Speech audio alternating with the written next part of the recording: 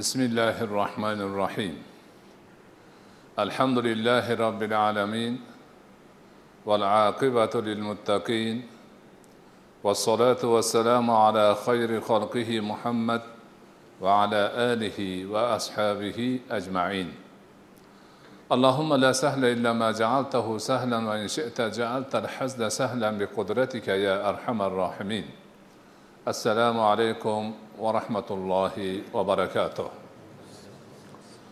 alloh subhanahu va taolo muso alayhissalomga va u kishini iltimoslariga binoan u zotga sherik qilib nabiy qilib yuborilgan akalari horun alayhissalomga fir'avnni huzuriga borish unga muloyim so'z bilan da'vat qilish o'zlarini robbil alamindan nabiy bo'lganliklarini e'lon qilish topshiriqlarini berganidan so'ng aka uka nabiylar muso va horun alayhissalomlar o'sha zamonni fir'avni xudolik davosini qilib turgan misrni podshohini huzuriga bordilar.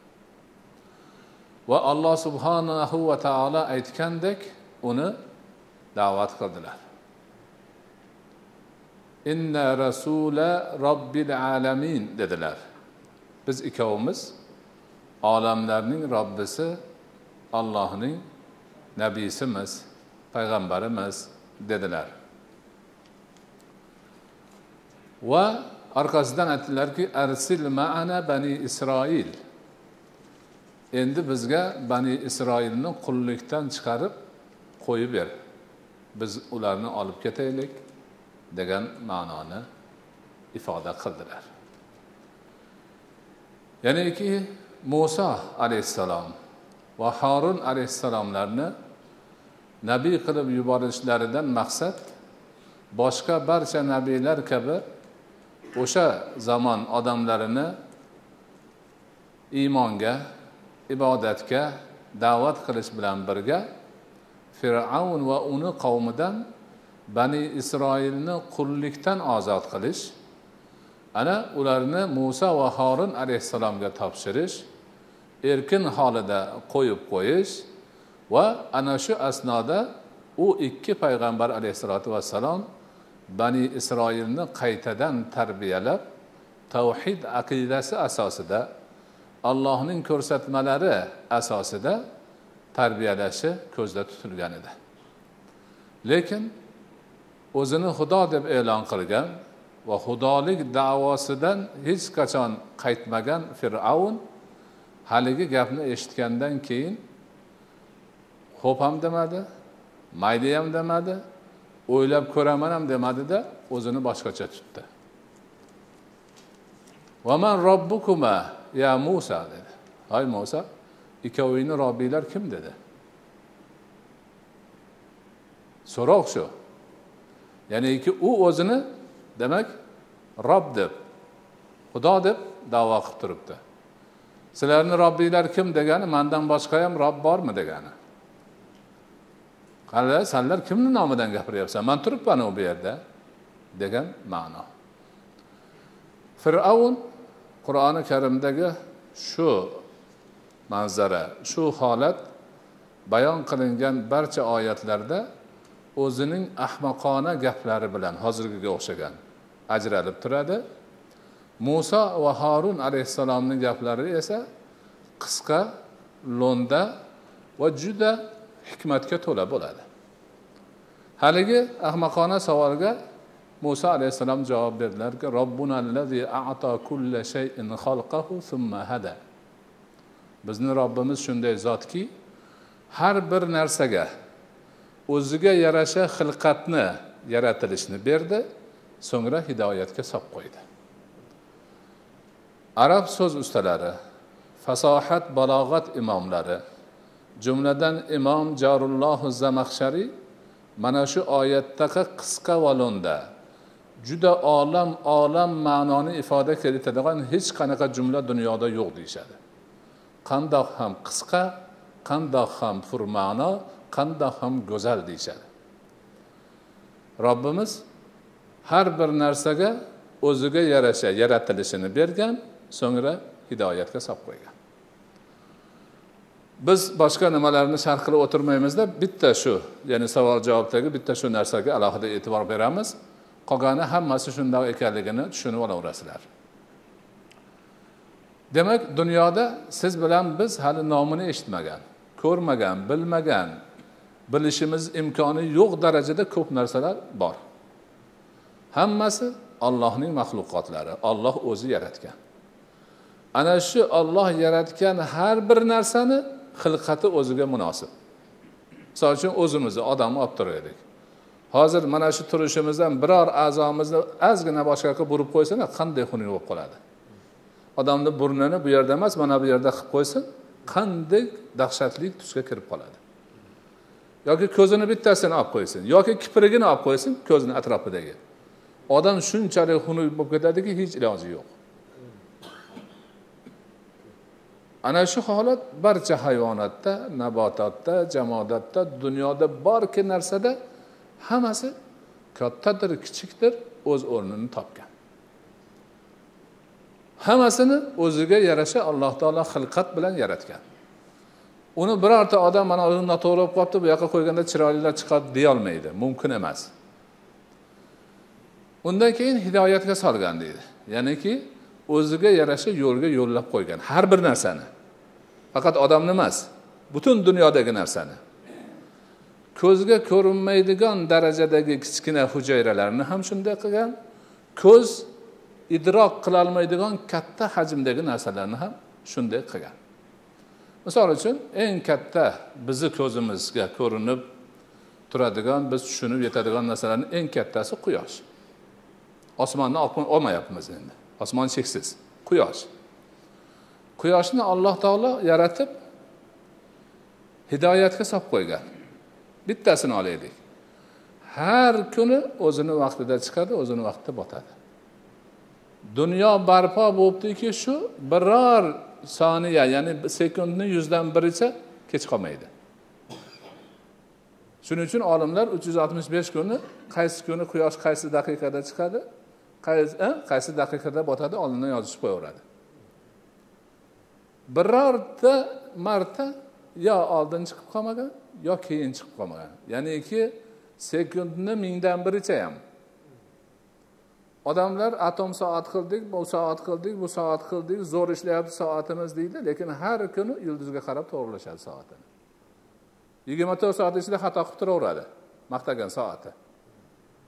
Shuning uchun radiolarda alohida har yerda demak nima qilib qo'ygan? Hozir aniq vaqtni e, demak ishorasini beramiz.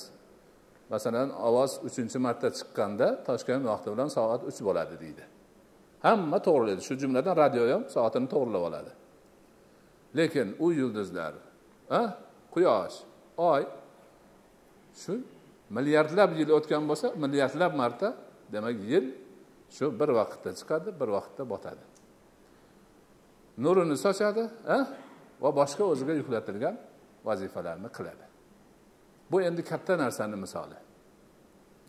Kichik narsani ko'zga ko'rinmaydigan nihoyatda mayda hujayralarni tushuntirish uchun ulamolarimiz erkak bilan ayol qo'shilganda homila paydo bo'lishini aytadi. Demak o'sha erkakdan chiqqan urug'lik ayoldagi tuxumga borib to'qnashganda ikkovi chatishganda bola paydo bo'ladi. Ana shunda milliardlab hujayra tarqab ketadi.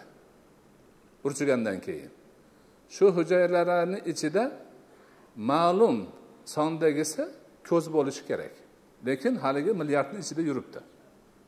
Ana shu ko'z bo'ladiganlari o'zini bir birini izlab kelib topib sekin sekin qo'shilib qo'shilib qo'shilib qo'shilib ko'zga aylanadi. Va mana shu yerga kelib turadi. Bu yoqqa chiqib qolmaydi. Uni o'shani ko'tarib yurgan ona ham bilmaydi ota ham bilmaydi hech kim bilmaydi. Ichki jarayon bo'laveradi. Qandaydir yana ko'p sondagilari quloq bo'lishi kerak. Ular ham o'sha milliardlab hujayrani ichida aralashib ketgan lekin hammasi bir birini topadi. Izlab izlab topib qo'shilib qo'shilib qo'shilib qo'shilib quloq bo'ladi. Keyin mana bu yerga kelib o'rnashadi. Til ham shu burun ham shu hamma yo'q shu. Ularni kim boshqaradi? Kim bunaqa qilib qo'ygan? Kim o'sha yerni topib kelib o'rniga o'rnashadigan qilib qo'ygan? Olloh qilmasa boshqa hech kim qilolmaydi va bunga o'xshagan ko'p ma'nolarni mana shu bitta oyat kichkina qisqina. Tamom qur'on oyati nabiy muso alayhissalom shuni fir'avnni oldida nutq qilyaptilar. Keyin yana fir'avn bilan muso alayhissalom horin alayhissalomni ortida tortishuv davom etib birlari u deb birlari bu deb demak e, gap davom etaveradi. Ho'p jumladan fir'avn aytadiki ho'p sanlarni sanlarni. Man bilishimcha niyating boshqa. Odamlarni buzib o'zingni orqangdan ergashtirmoqchisan. Odamlarga aytib voy ko'ryapsizlarmi? Bular sizlarni yurtingni egallamoqchi buzg'unchilik qilmoqchi. Ya'niki hidoyat olib kelgan nabiyni buzg'unchi deyapti. O'zi kimligi esdan chiqib qolgan. Shunga o'xshagan demak gaplar ikkovlarini orasida e, gapirilaveradi. Muso alayhissalom haqiqatni aytadilar fir'avn esa nohaq gaplarni aytadi. Jumladan ana shu tortishuvlarni ichida chidamasdan dalili yo'q hujjati yo'q davo qilishga o'tadi. Hoy mo'sa san bizni ichimizda tarbiya topmovdingmi sani o'zimiz boqmovdingmi katta bo'lganingda qilar ishni qilib qo'yib qochib ketmovdingmi ta'na qilish. Ya'ni kichkinaligingda soyda oqib kelganingda biz ushlab olganmiz.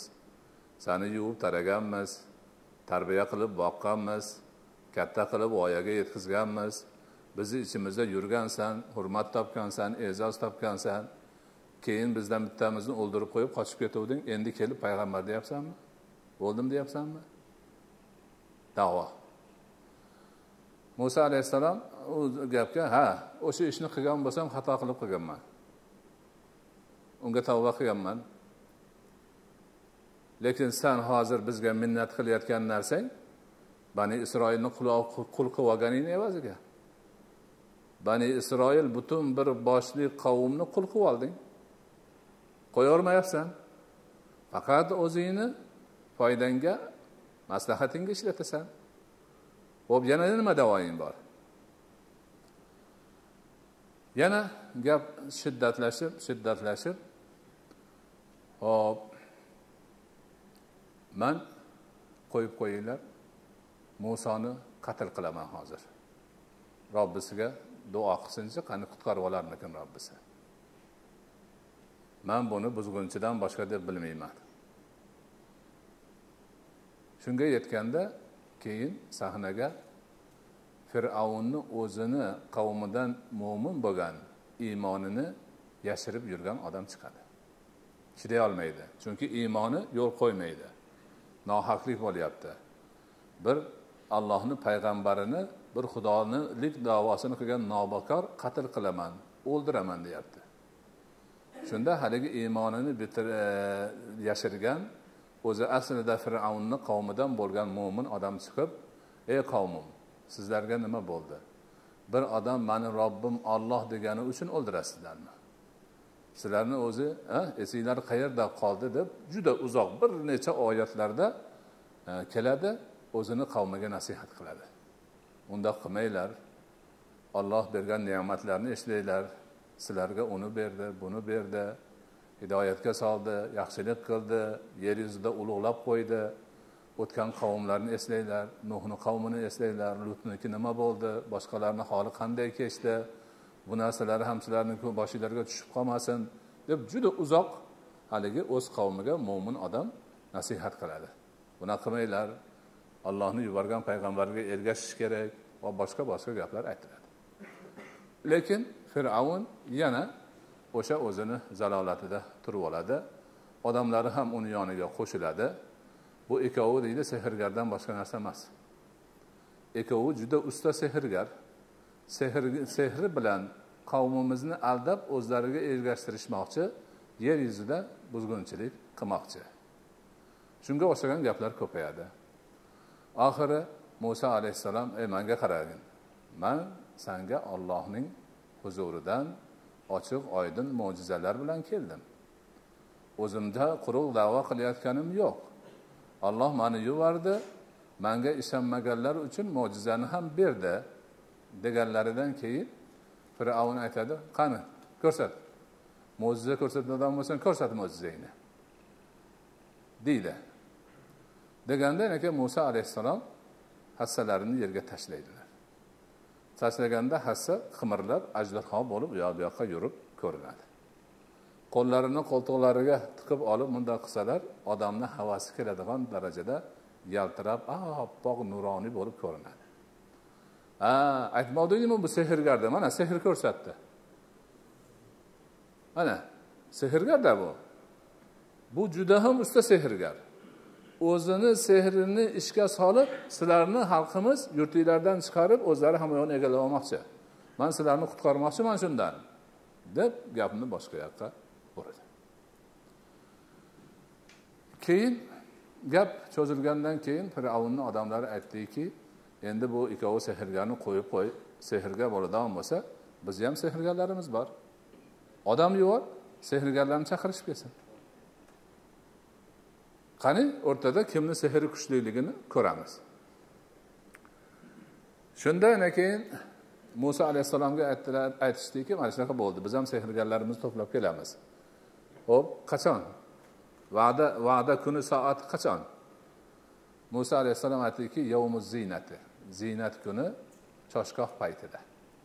Yovmu ziynati degani ularni shunaqa bir ziynat kuni degan bayramlari bor ekan. Shunda erkagu ayol yoshi qari barcha xalq ko'chaga chiqar ekan. Choshgoh paytini tayinlaganlari allohni hidoyati bilan hamma to'planganda haligi sehrgarlar bilan muso alayhissalomni o'rtasida olishuv bo'lsa sehr ma'nosida mo'jiza ma'nosida. Hamma xalq ko'rsin fursatdan foydalansin. Agar o'zlari tor doirada bo'lsa halidaqa yolg'onni gapirib turishib oladi bular. Guvohlar ko'p bo'lsa xalq ommasini huzurida bo'lsa bu narsa hamma ko'radi haqiqatni biladi degan ma'noda. Muso alayhissalom o'sha va'da qilingan vaqtni eng katta bayram butun xalq yig'iladigan bayramni va'dasini aytdi vaqtini hamda choshgoh paytini aytdi. Choshgoh paytida odamlar hammasi sergak bo'ladi uxlab turib qorni ponini to'yg'izib yaxshi bir qobiliyatli bo'lib turgan bo'lishadi. Ana fir'avn haligi gaplar bilan endi odam yubordi barcha shahar qishloqlarga. Eng kuchlik eng bilimdon katta sehrgarlarni to'plab kelishgan ana shuni aytganidek bo'lib to'plab kelishdi. Sehrgarlar yig'ildi odamlar yig'ildi fir'avn hozir bo'ldi. Bir tarafda sehrgarlar bir tarafda muso alayhissalom. Sehrgarlar fir'avnga aytishdiki ho'p hozir biz olishuvni o'tkazamiz. Agar biz yutsak bizga mukofot bormi? Deyishdi. Albatta dedi. Sizlarga mukofot bor. Man agar sizlar yutsalaringiz o'zimni eng yaqin odamlarim qilib olaman sizlarni dedi. Mukofotlarni jumlasi bilan e'lon qildi fir'avn. Keyin hovliqib ketgan sehrgarlar aytishdiki ay mo'sa qani boshlaymiz? Oldin san tashlaysanmi yoki biz tashlaylikmi deyishdi. Degan edilar muso alayhissalom aytdilar oldin sizlar tashlanglar dedilar. Ular yanaki hammasi qo'llaridagi arqonlar va hassalarini sehr ishlatib tashlashdi. Haligilar ilon bo'lib harakatga tushdi. Bu endi odamlarni ko'zini bo'yagan haqiqatni burib ko'rsatayotgan narsa sehr. Ana shu yerda sehrgar hech qachon yutib chiqmaydi oyatlari bor. Sehr demak ma'lum bir harakatlar bilan yoki ma'lum bir qobiliyat bilan bir narsani mohiyatini o'zgarib ko'zni bo'yash xolos. Ko'ziga odamlarni ko'ziga ilon bo'lib ko'rinadi o'zi aslida arqon. Odamlarni ko'ziga ilon bo'lib ko'rinadi o'zi aslida hassa. Lekin bular o'sha sehri bilan odamlarni ko'ziga bir narsani boshqacha qilib ko'rsatishadi. Aslida dunyodagi narsani mohiyatini o'zgartira olmaydi sehrgarlar. Ana shu aldamchilik qalloblik odamlarni ko'zini bo'yashdan iborat. Shuning uchun bizni dinimizda sehr harom qilingan. Sehrni harom deb atalgan sehrgarlar agar o'sha o'zini qilayotgan ishini haqiqat deb ishonsa kofir bo'ladi. Shuning uchun mo'min musulmon odam bu ishga hech qachon yaqin yurmasligi kerak bormasligi kerak va sehrgarni huzuriga borib uni sehrni so'rashga ham ruxsat yo'q. Manga o'qib ber manga bu qilib ber isitma qilib ber sovutma qilib ber falon bo'lsin piston bo'lsin birortasi o'tmaydi. Haliginday holat bo'lib turganda muso alayhissalom qarab turib hassalarini tashlavdilar hassa katta bir ajdaho bo'ldida u ham qimirlab borib haligilarni sehrini yutib yuboruvdi. Odamlarni ko'zi bo'yalgani yo'q bo'ldida hammasi arqon bo'lib tayoq bo'lib sharpayib qoldi. Qimirlamaydi ham ilon ham bo'lib ko'rinmaydi arqon bo'yicha turibdi tayoqcha bo'yicha turibdi. Shunda sehrgarlar shundoq qarab turdida haligi ishni ko'rish bilan hammalari birdaniga gururlab muso alayhissalomni oyoqlariga yiqilib biz olamlarni robbisi muso bilan horunni robbisiga iymon keltirdik deb hammasi mo'min bo'lishdi. Chunki bu mutaxassislar mutaxassis bular sehrni bilishadi mohiyatini bilishadi. Endi shu ko'pchilikni oldida muso alayhissalom ko'rsatayotgan narsa sehr emas ollohni mo'jizasi ekanligini birinchi bo'lib shular tushunishdi. Ana u ovom xalq hali idrok qilgani yo'q buni. Tomosha nima bilan tugar ekan deb qarashib turibdi? Bular haqiqatni anglab yetishlari bilan darhol o'zlarini muso alayhissalomni oyoqlariga tashlab biz olamlarni robbisiga iymon keltirdik.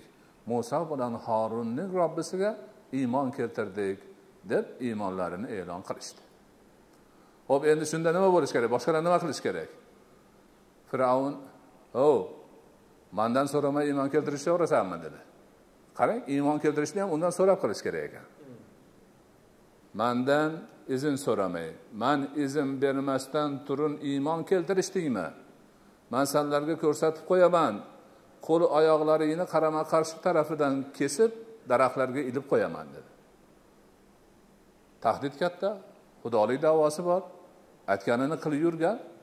Ana o'zi ishonib turgan sehrgarlari birinchi bo'lib undan tolib ollohga sajda qilganlari allohga iymon keltirganlari xudolik davosini qilayotgan nobokorga yoqmadi.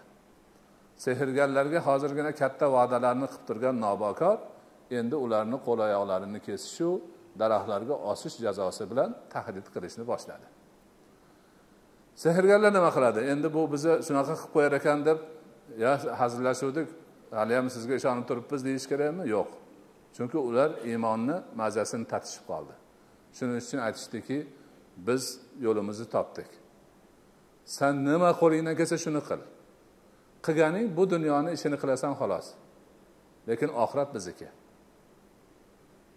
Hozir qo'lingdan kelsa bu dunyoda ba'zi bir qo'limizni kesarsan daraxtga ilarsan lekin shundan boshqa boshqa yoqqa o'tolmaysan. Biz iymonni oxirat uchun qildik. Haqiqatni ollohni tanidik. Umidimiz shu. Endi sani tahdiding ham o'tmaydi bizga jazoing ham o'tmaydi va'dang yo'q mukofotlaring ham keragi yo'q. Ana iymon halovatini tatib birinchi lahzalarda turgan odamlarni xudolik davosini qilib turgan nobokorga aytgan javoblari shu bo'ldi. Ana o'shandan keyin yana fir'avnni jazavasi tutdi. Endi dedi kim musoga qo'shilib musulmon bo'ladigan bo'lsa uni erkaklarini o'ldirib xotinlarini olib qolamiz endi hali bani isroil emas o'zini qavmini ham e'lon qilib yubordi agar musulmon bo'lsa bo'ldi. Tamom. O'qib yuboramiz o'qib yuboramiz degan gaplarni e'lon qildi. Tahdid xavf xatar ana mo'min musulmonlarga bo'lgan azob uqubatlarni ziyoda qilish demak uni og'zidan chiqdi shuni harakatiga tushdi. Ana shunda alloh subhanahu va taolo bu nobakorga fir'avnga va uni qavmiga eslatma bo'lishi uchun. Ularni iymonga yo'llash yo'lini osonlashtirish uchun va'z nasihat bo'lishi uchun bir necha demak oyatlar mo'jizalarni ko'rsatdi. Qur'oni karimda alloh subhanahu va taolo biz musoga to'qqizta mo'jiza berdik degan oyat bor.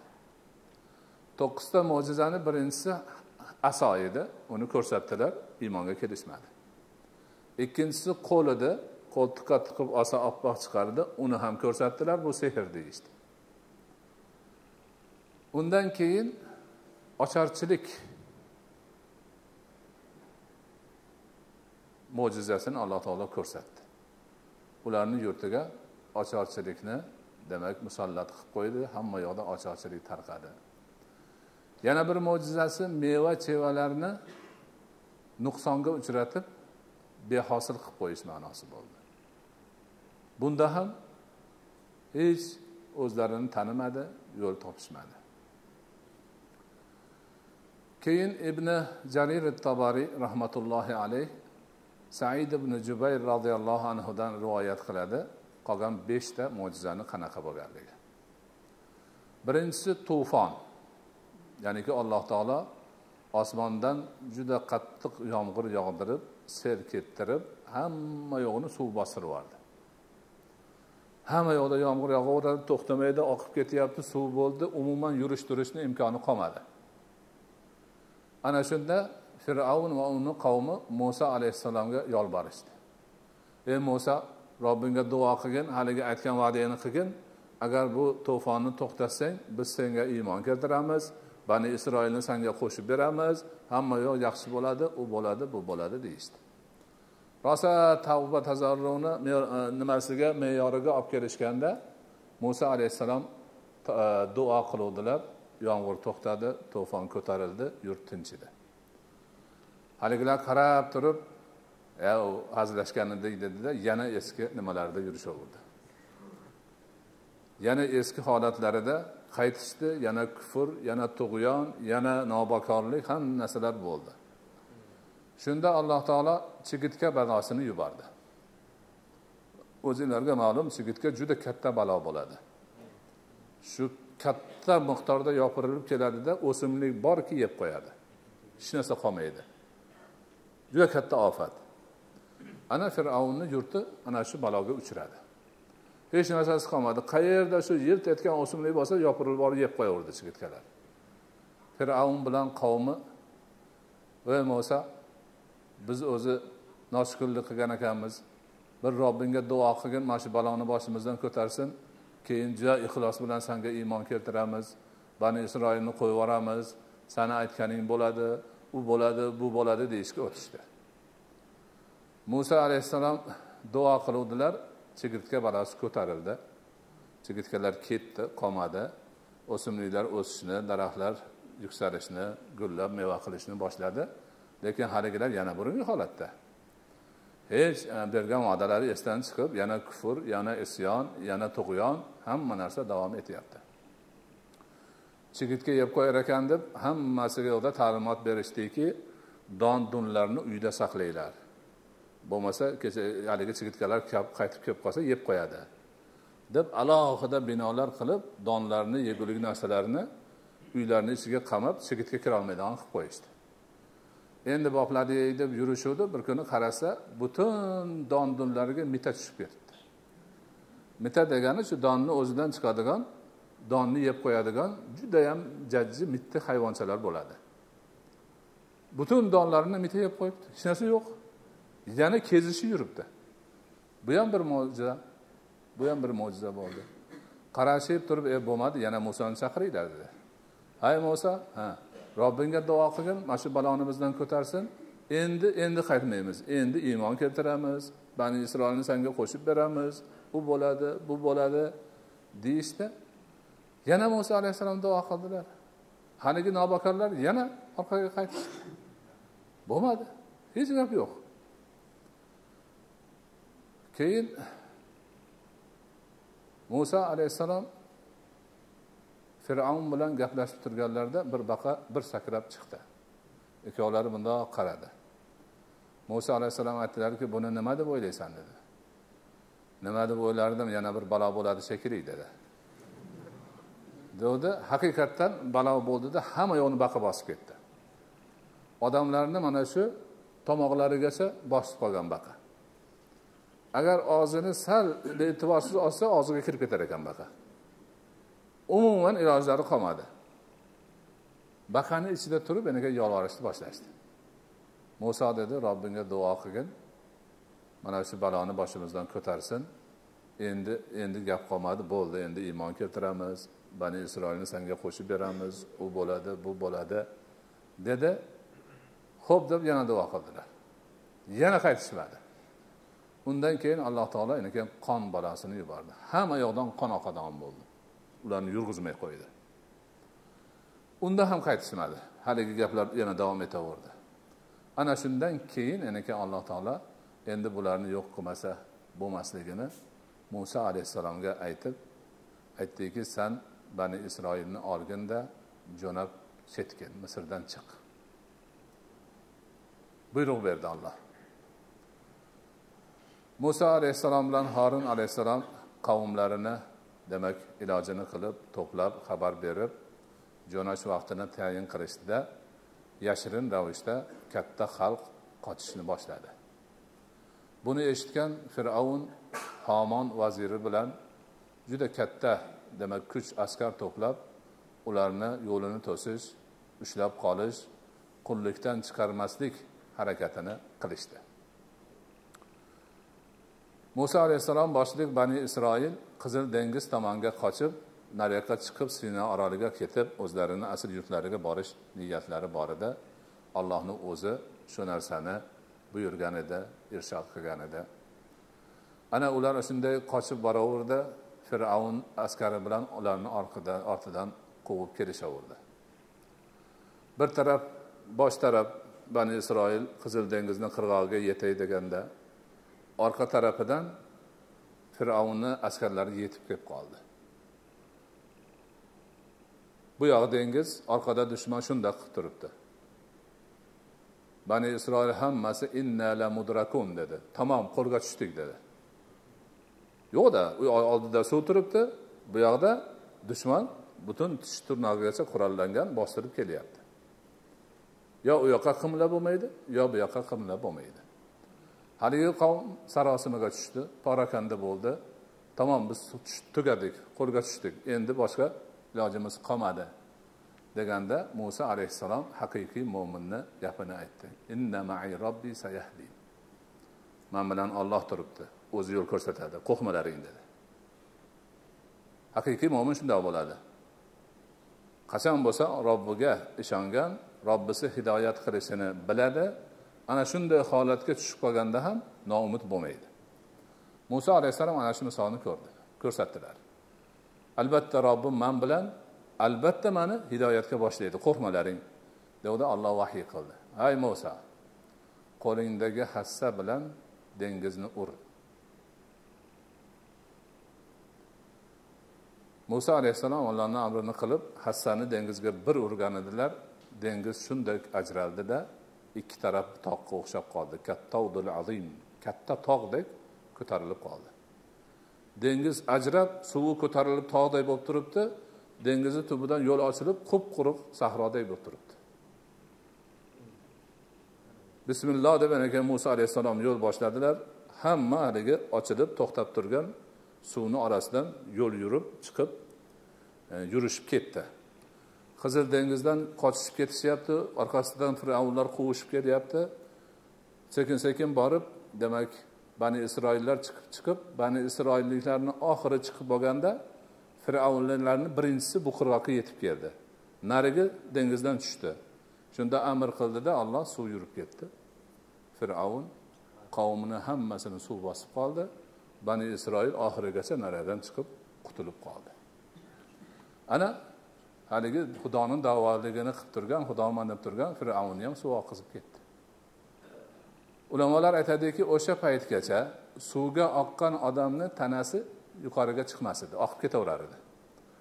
Fir'avnnikini olloh chiqarib qo'ydi suvni ustida yotibdida. Xudolik davosini qilgan nobakor suvni ustida o'lagi u yoqqa bu yoqqa oqib turibdi. Hamma ko'ryapti qirg'oqdan kelgan. E xudoman degan manavimi deydigan darajada bo'ldi. Ana shunday turdi. Mana shu haqiqat demak qur'oni karimda keldi. Mana shu fir'avn va muso qissasi hamma ilohiy kitoblarda bor. Bir vaqtlar fir'avnni jussasini topilganda mumyosini tekshirib ko'rish kerak endi. Buni ko'raylikchi shunaqa gaplar bor. Nimasi bo'lar ekan deb dunyoda eng mashhur kriminalistlarni chaqirgan.